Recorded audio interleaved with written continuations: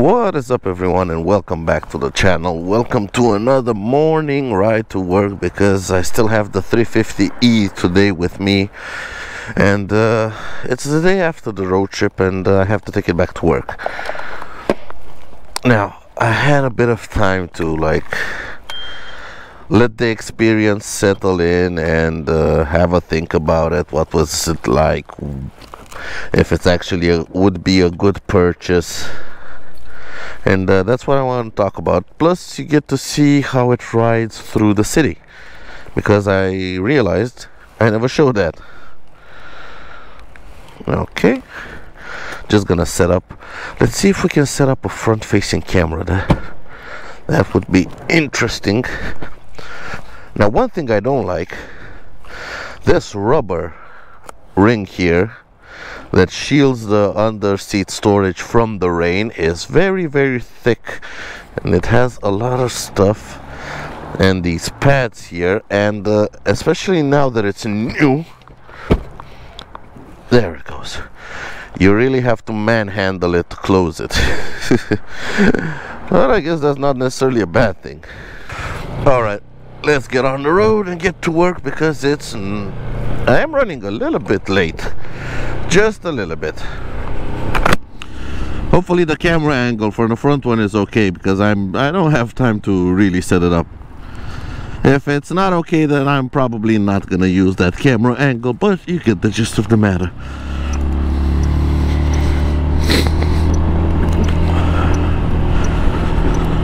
Ah back on the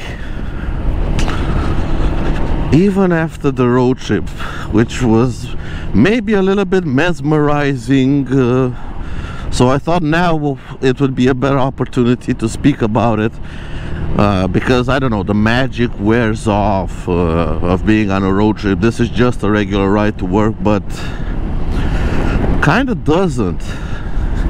It still kind of feels like a very compelling and complete package although through the city it's probably gonna be a little bit of a whale because of how wide it is up front. It's almost as wide as the handlebars the front fairing.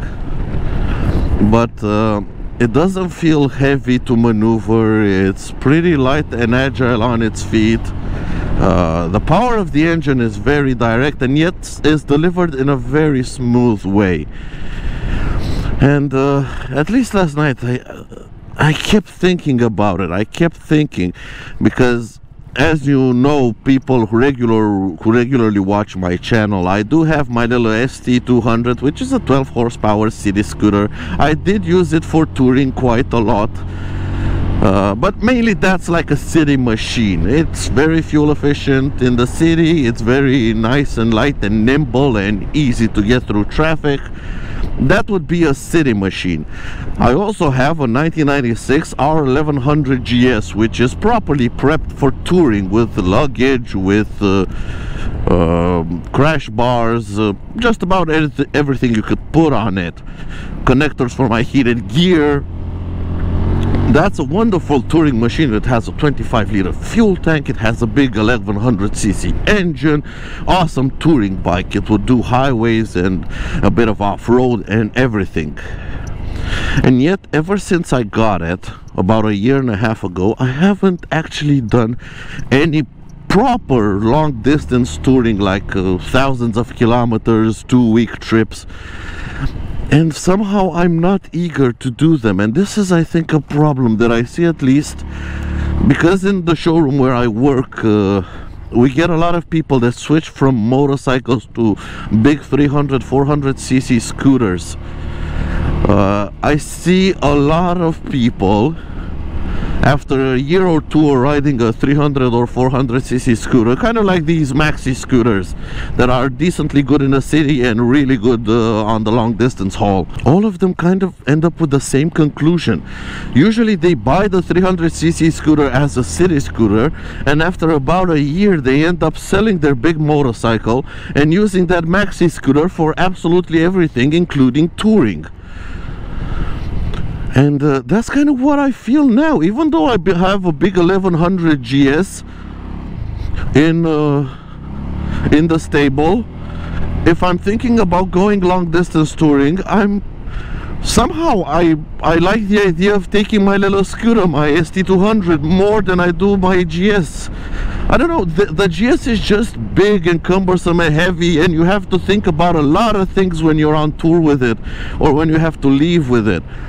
Where you're gonna park, where where you're gonna, what roads are you gonna take? If you take a, I don't know, uh, an off-road dead end, then uh, turning it around is kind of a bit of a pain. So every time I think about going anywhere long distance, I end up thinking about going uh, on my scooter, even though I have a big touring motorcycle. Now the problem with my scooter is that it's very small and very slow on long distance trips. But this thing is just as easy as my ST200 to just get on it and ride. But it can maintain highway speeds and I mean proper ramming speeds. You could cover some very long distances very quickly on this thing the engine is very happy at at 130 135 kilometers an hour fuel consumption is higher than my ST200 but considerably lower at the same speed than my GS Usually my GS eats about 5.5 liters per 100 kilometers if you ride it at about 90 or 100 kilometers as in economical riding, economical speeds. Uh, if I would ride it like uh, I rode this one at 130, 140 kilometers an hour, uh, yeah, the, the GS would go up to almost 7 liters per 100 kilometers. Uh, which is a bit much considering this thing yeah yielding not a not Romania strong point so yeah the GS would go at least above 6 liters per 100 kilometers 6.5 to 7 that's depending how cold it is outside. And uh, 6.5 compared to this thing's four and a half to 5 that's just about two extra liters per every 100 kilometers. And when when you go on like a two three thousand kilometer trip and uh, considering the fuel prices here in Europe two liters per every 100 kilometers that's a lot of money okay that's a lot of money. So so this thing is starting to look like a very very compelling option. And like I've said I've got I got nothing to complain about. What I would have liked from the factory would have made it absolutely perfect is uh, cruise control and Android Auto on the big screen. But other than that I have nothing to complain about. This thing is absolutely awesome. I mean even the fact that you have an electric windscreen in the summer at least you could pull it down and get some airflow on it again something yeah something i do not like is if you put the windscreen down and you want to put it back up again uh, you have to be going uh, 100 kilometers or less because the motors here electric motors are not strong enough are not strong enough to actually push the windshield up when it's uh, when you're going over 100 kilometers an hour. And as you saw back there this thing has plenty of get up and go to get through city traffic. It's a very very compelling option and a very complete machine.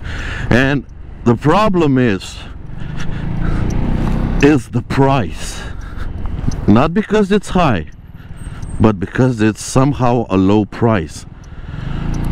I mean uh, a Honda Forza 350 which doesn't have all of this touring equipment on its standard is about uh, 1500 euros more than this one. So uh, yeah quite a lot less money quite a bit more power and quite a bit more equipment standard equipment on it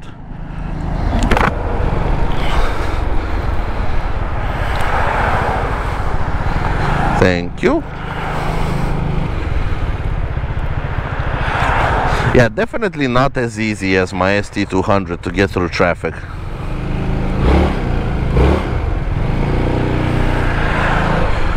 Definitely not as easy, but it's still doable. I mean, you get a situation like this where you, even my ST wouldn't have anything to do.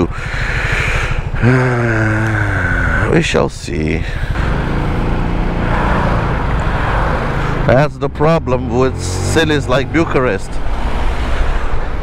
You, we do have traffic and a scooter is good through traffic but we have here certain types of very very tight traffic that even you you really need just a little small city scooter to actually make it work but you can make it work even with something as big as this if you're a little bit cheeky you can make it work again nothing to see here officers nothing to see here just a law-abiding citizen trying to get to work there we go I'm on the lines. Yes, I'm right in the lines. Everybody, shh, the fuzz. Nothing to see here. It's almost green, it's almost green. The traffic light Grand Prix is almost on its way. And a three, two, one, go! Punch it! I love that pick up and go. And through the city, if you really want to cane it, whoop, baby. That's it. That's fast enough. I think I'm pushing my luck with uh, the fuzz currently. But this thing is just so awesomely beautiful to ride and check out the, the maneuverability. I don't know. Because of the long wheelbase, it just has a majestic way in which it flows from side to side. I'm trying to find faults with it guys. I'm trying to find faults and I am struggling very very very very very very much. I'm not saying it's completely faultless but for what I am looking in a do-it-all machine it kind of has it all from the factory. I don't know. I'm usually a tinkerer with motorcycles and I add stuff I don't know what I would add to this. Uh, a top case, my carpuride, a throttle lock, and a cup holder. And probably a phone mount in case I really want to keep my phone on my handlebars, but that's about it. I even have tire pressure sensors, for God's sake. I have a trip computer that shows me my fuel range, my estimated distance covered on my remaining tank of fuel. Really? Come on, give me a bit of room.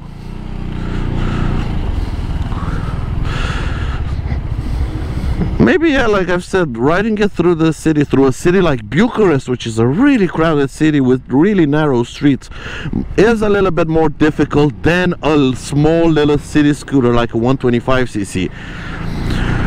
But if you're not a courier and you're not looking for that edge, for that extra I don't know, a tenth of a second to a delivery. If you're just going to work and back, yeah, looking currently looking at the time, and there's not much of a difference from uh, my time with the Symphony ST and with this one, and it's been a really crowded day. So yeah, for uh, I don't know, maybe an extra one or two minutes uh, in my commute to work, but I have the ability to have a machine that could easily cruise the highway at 130 kilometers an hour and be supremely comfortable doing it. It's hard to deny it. It's hard to deny it's a compelling package. It's a very very complete machine.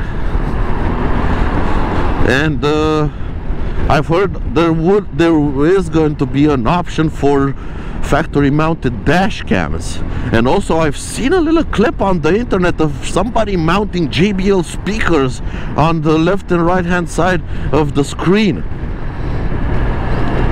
So this thing might get might get even better and better and better. Now I'm not necessarily a big uh, speaker guy on your motorcycle. I do have a car though and I listen to that.